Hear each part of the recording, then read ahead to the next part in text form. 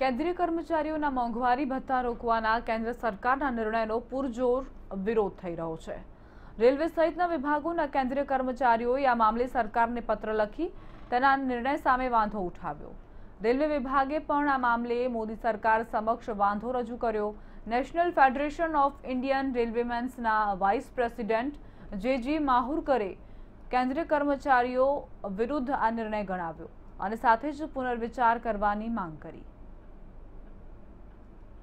केंद्रीय कर्मचारियों का है, चाहे वो पुलिस हो, चाहे वो मेडिकल, हेल्थ सर्विस हो, चाहे वो रेलवे हो, चाहे वो आर्मी हो तो ये मेन रोल है।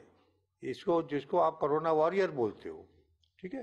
तो इन्होंने जो ये फ्रीज किया, जनवरी, जुलाई 2020 का और जनवरी, जुलाई 2021 का, ये कदम गलत उठाया। इस वजह से केंद्रीय कर्मचारी और रेलवे कर्मचारी और अधिकारी बहुत नाराज़।